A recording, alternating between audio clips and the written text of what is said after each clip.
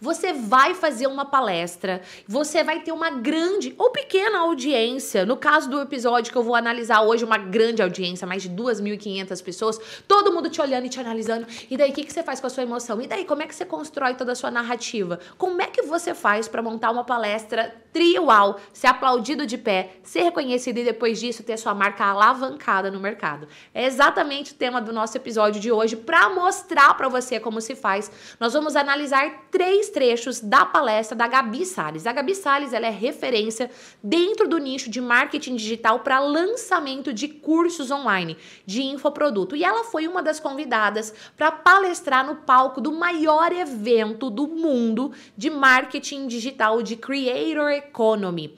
E a palestra da Gabi foi eleita uma das melhores do evento. Simplesmente ela arrasou.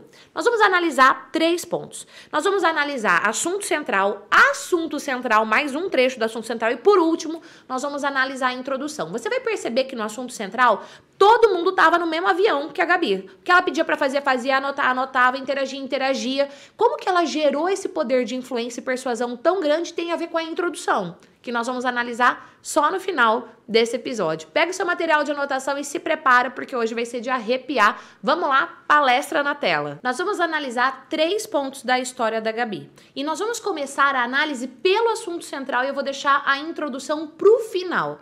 Porque para Gabi ter esse efeito uau no assunto central é porque a introdução foi muito bem feita, mas eu só vou analisar a introdução no final desse nosso episódio de hoje. Então, vídeo na tela. Vamos lá.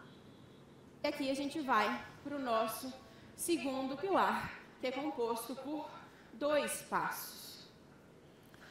Eu sempre falo com as pessoas, primeiro, dois passos, primeiro passo. Pausa. De... Olha que bonitinha. Você vê que a Gabi tá emocionada. Na hora que eu for analisar a introdução, você vai perceber. Ela tá emocionada, então ela vai trabalhando o controle da respiração. Gente, isso não é ruim na hora de você palestrar. Se o público percebe que você tem uma real entrega, isso inclusive vai gerar conexão. Mas tudo vai fazer sentido na hora que eu analisar a introdução. Agora, repara que ela faz gestos marcados. Então, ela dois passos e ela dá um passo literalmente marcando o que é o primeiro. Arrasou. Play. Um teste. O poder de um bom teste.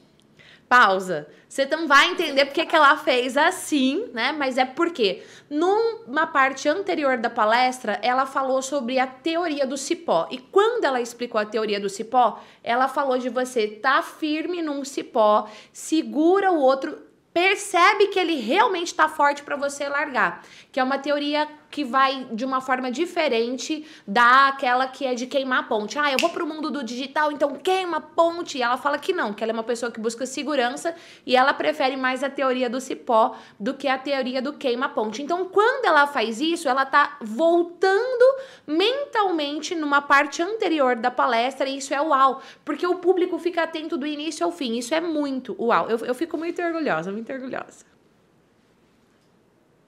para os meus alunos, para os meus, meus clientes, para os meus mentorados.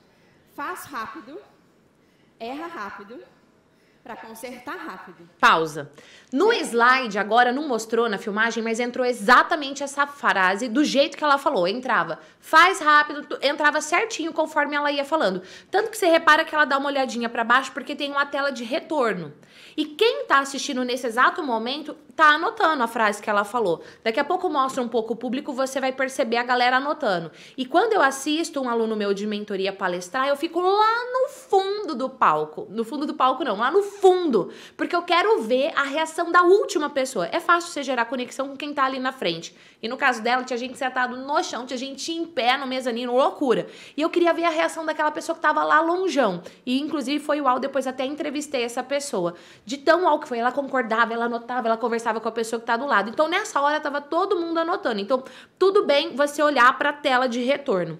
E repara que a voz vem marcada, que é justamente para dar essa ênfase. Play. A gente não tem que ficar esperando, tá com tudo pronto, perfeito, pra gente colocar em prática. A gente tem que fazer, errar, porque a gente vai ajustando a rota no meio do caminho. Beleza? Só que é o seguinte, eu não posso fazer isso queimando largada. Eu não posso queimar largada. Especialmente quando, se eu vou cometer erro, vai ser com a audiência do Whindersson. Pausa. Essa palestra, ela contou os bastidores da estratégia que ela fez para lançar o curso do Whindersson Nunes, que foi um sucesso, um estouro de venda louco. Inclusive, na descrição desse vídeo, eu vou deixar a rede social tanto da Gabi quanto a rede social do Whindersson para você saber mais sobre tudo isso. E a Gabi, no começo da palestra, essa era a promessa. Então ela começa a construir toda a narrativa entregando de verdade aquilo que ela prometeu, porque é importantíssimo você fazer isso.